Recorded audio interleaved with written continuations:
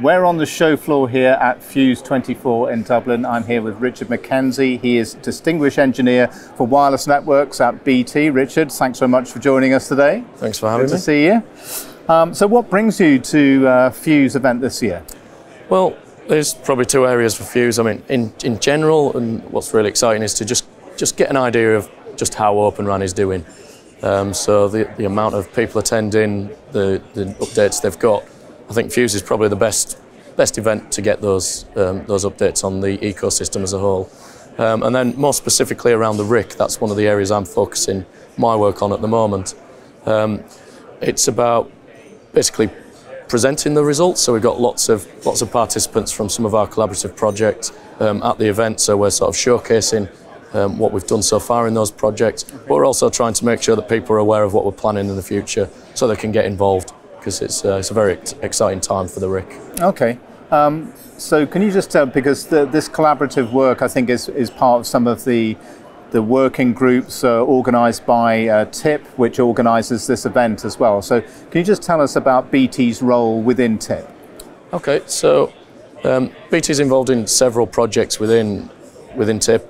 Um, one of them is the TIP RIA group, um, which is um, RAN intelligence and automation, and it's essentially looking to develop and commercialise the RIC platforms. Okay. Um, and, and I'm one of the co-chairs of the TIP RIA group. Um, so in terms of our involvement, we, we, we work on, um, we've, we've done a number of projects, but at the moment we've got one active project that's, that's done through, through TIP. So TIP are actually the project leads, um, and then we've got some UK government funding, and BT, we play one of the roles in that consortium. We are the operator participant. We've also got a number of vendors that create the RIC platforms and uh, the apps that go on the RIC and the other parts of the network, you know, the core network and and, every, and the um, the test environments. So all together we come together and we, we do this testing which is focused on use cases which have been developed within the TIP RIA group.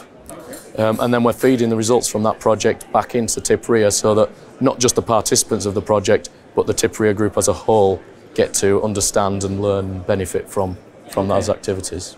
So, um, just to swing back for a second to, to the RIC. So, this is the RAN Intelligent Controller.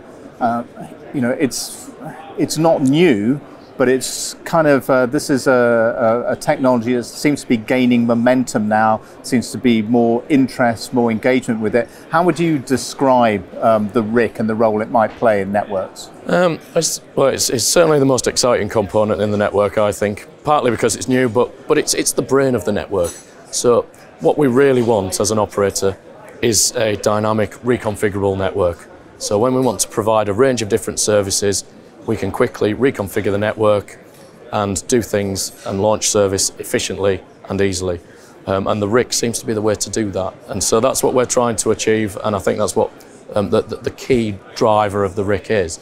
Um, so, in, in, in those senses, the, that's what the RIC can become. In the early days, it's doing some of the more basic things. It's doing the automation features. Um, we're starting to look at how it can do optimization. We're taking one use case at a time. Um, and what we're doing within the TIP RIA group now and within the Ariane project, we're also looking at what I'd say is the last big challenge for the RIC before we can see true commercial deployments, and that is conflict mitigation. Right. So, okay. if we think of use cases like energy saving, that's got a lot of attention at this at this event. It's, it's very important, and the, the, the main objective is turn things off when they're not needed, save energy. Whereas a lot of the other use cases are about performance optimization. So when you want extra resources just to make those minor improvements here and there, there's a, there's a conflict immediately observable that when you're trying to turn things off and you want to turn things on at the same time, there's going to be a conflict. But some of the other conflicts are not so obvious, and that's the, that's the area that we're trying to explore now. And as an industry, we need to make sure that we're um, aware of what those conflicts can be, but also how to resolve them.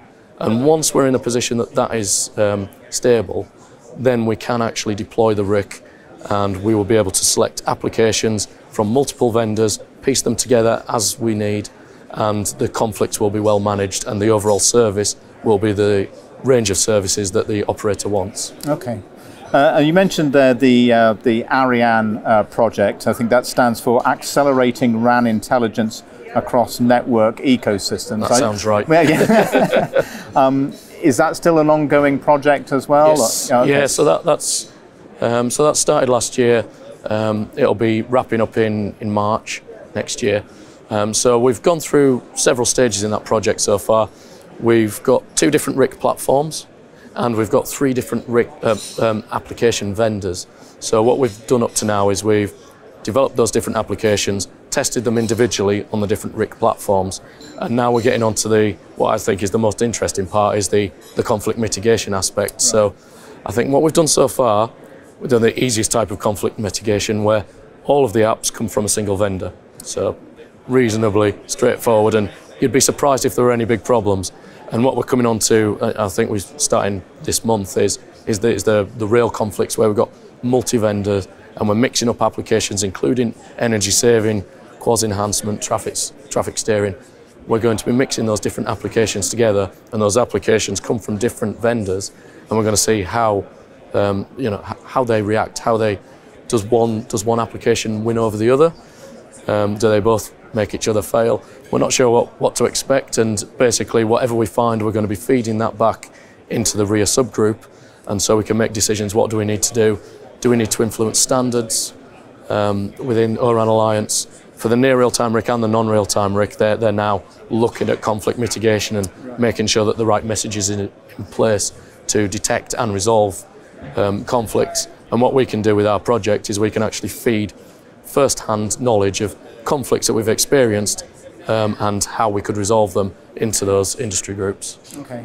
And are you getting the sense that um, that there are more companies now starting to develop these the the R apps and the X apps that will run on, on, on the RIC platforms? You, is there momentum there?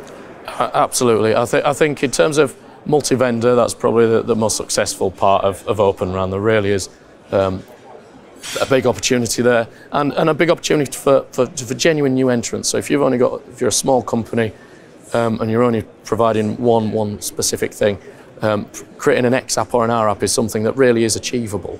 Um, and we've seen, seen support from the, the, the RIC platforms or, or, the RIC vendors to um, help those, those app developers port their apps onto, their, onto those various RICs.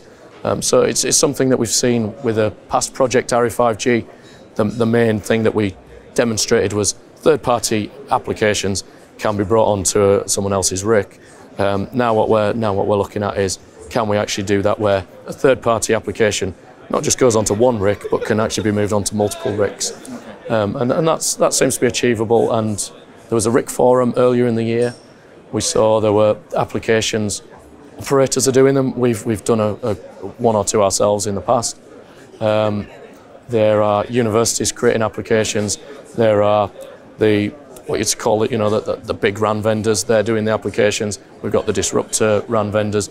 You can you can get applications from any of these experts, and you can actually piece together. So you can get the expertise from one area and expertise from another area, and bring them together to create your your unique service um, combination.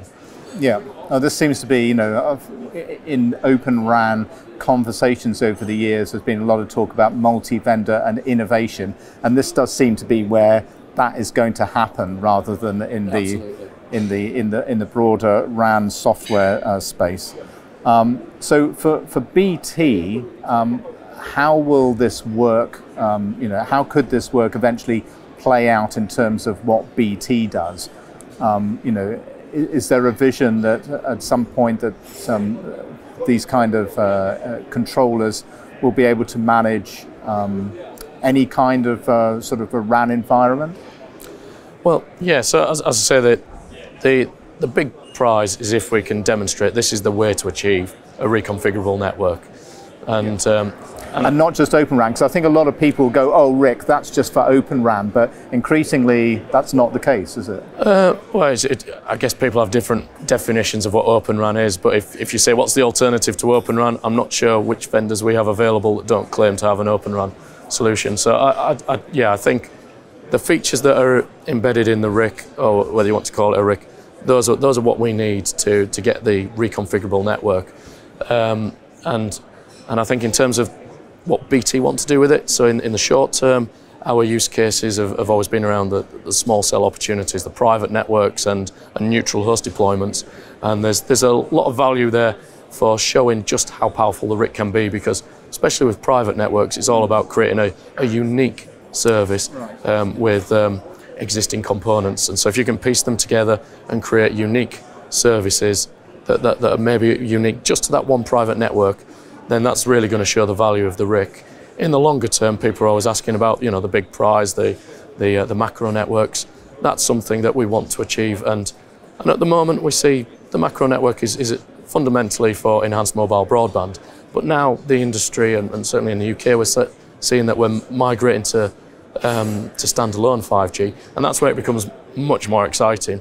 We're then talking about different slices, different um, different types of services. And as we start to see customers that want different slices and, and uh, we want to be able to create that on our network, that's where the real value comes from the RIC, where we can actually reconfigure the network to get those services or slices that the, that the end customer will want.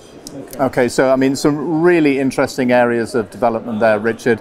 Um, you know, and this is something that we're very interested in at Telecom TV, the development of the RIC, and it's good to see that it's kind of you know getting more airtime now than it maybe was in, in the past couple of years. So thanks for bringing us up to speed with what BT is doing, you know, for itself, but also in collaboration at, at TIP, and look forward to chatting with you again in the future. Thank you.